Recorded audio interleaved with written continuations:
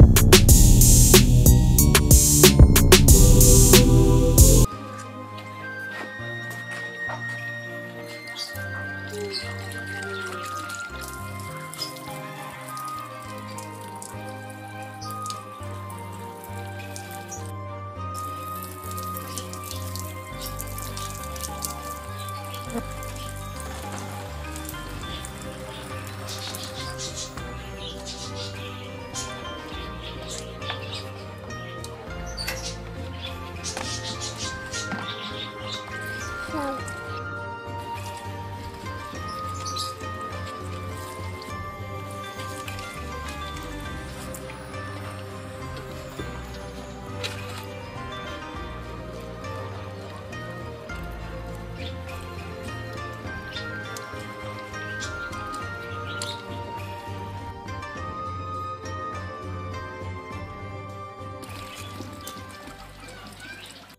Nah ini strawberry kita. Terus di sini ada rosella yang dikeringin. Akhirnya karena mataharinya terang banget, akhirnya saya memutuskan untuk mengeringkan rosella juga. Di sini ya, di sini. Yang satu mati, nggak tahu kenapa. Yang dua lagi semoga terus hidup kita kalau nggak salah pernah nanam sesuatu di situ juga mati terus ya kalau sayur-sayuran. Kayaknya banyak serangga eh binatang tanah gitu. Ini juga belum dicabut-cabut. Bahas rosella. Harusnya cepat dicabut tanahnya diganti buat tanam yang lain. Ups. Oke nanti ya. Oh mau panen. Ada satu tadi Nih satu udah bisa ya. Satu lagi harus kita keluarkan dari dalam pot supaya menggantung. Ini panen hari ini. Lanjut ke bawah. Ini rumput malah masuk ke situ. Ini lemon balm jadi dia ternyata besar ya kalau dipindahin ke bawah.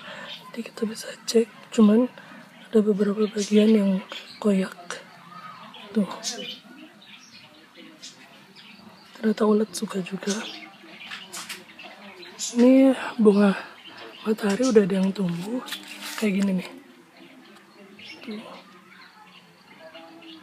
Nah itu ya udah siap membalik. Jadi kan posisionalnya gini nanti dia gini itu juga. Ini dia belum ini belum nemu ini ya. Si yang rambat ini belum nemu benang ini. Nanti kita pertemukan. Ini bayam merah benih-benihnya tumbuh. Jadi waktu itu ada bunganya. Ada bunganya di ujung yang kayak gini. Terus saya tanam bareng sama pohonnya. Ternyata tumbuh.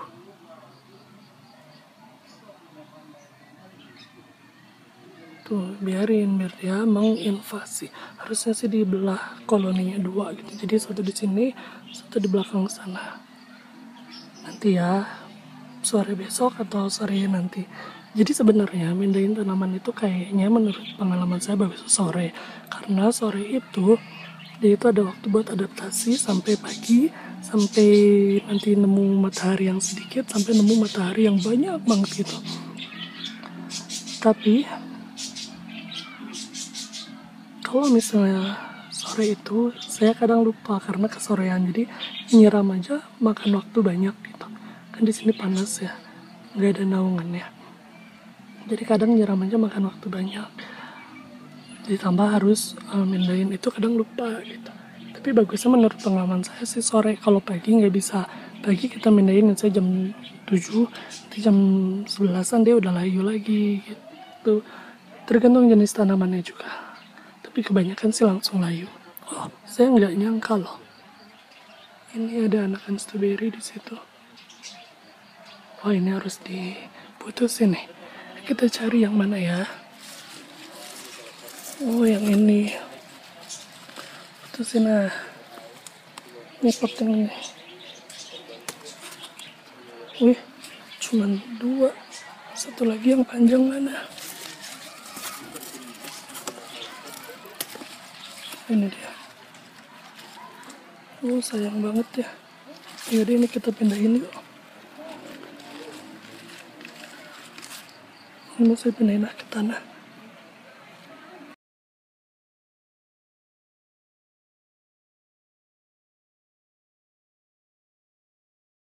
Nah, di sini juga di sini juga dia udah tumbuh tuh biji, uh, biji bunga tari ya lah. Betul. Terus ini ada rumput nanti dia tumbuh ya bunganya. Nah, ini juga udah mau keluar. Tuh dia udah mau keluar ya. Alhamdulillah. Oke gede kayaknya semuanya bagus. Bunga-bunga. Bunga nagami makin besar-besar. Senang banget. Ini juga pucuk-pucuknya banyak makin besar.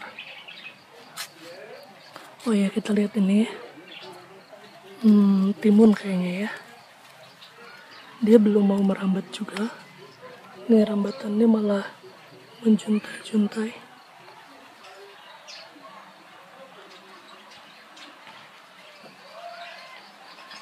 Kangkung belum dipanen kayaknya besok pagi. Kita potong yang gedenya gini ya kita kayak bakal potong segini nanti dia tumbuh lagi. Atau lebih bawah lagi tapi asal ada sisa daun. Enggak juga nggak masalah sih sebenarnya nah ini jadi kangkung yang di yang waktu itu uh, apa sih dia mau dibudik damber budidaya ikan dalam ember kan kangkungnya jelek ya karena nggak kena matahari. Terus ikannya mati-mati ya udah saya pindahin aja semuanya. Ini di sini ada tiga kelompok di sini banyak. Ini salah satunya. Biarin dia harus subur di sini ini bayam kita yang dipindahin. Semoga makin membesar juga biar bisa dipanen.